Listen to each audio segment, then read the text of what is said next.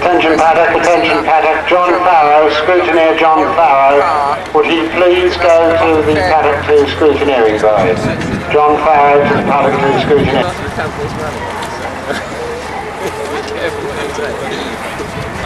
It's very nice yeah.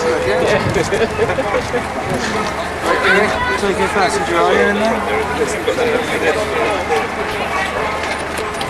Nee, they're not the people with the dream you have. Myself included.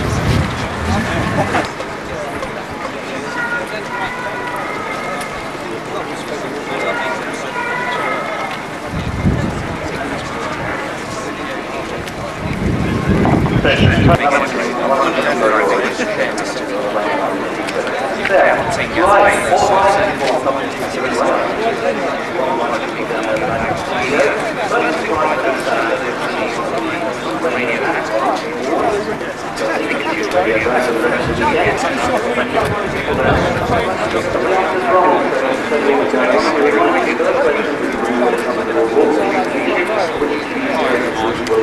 to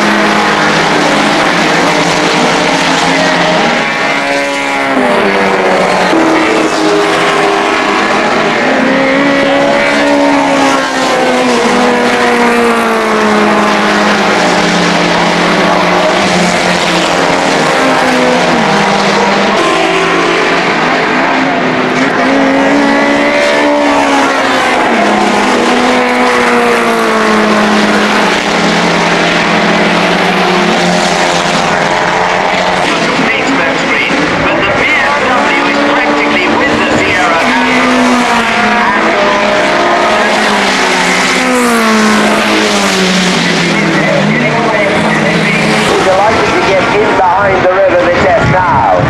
Joe Marley is problem driving. Joe problem. Joe Marley has problems well. And Starville.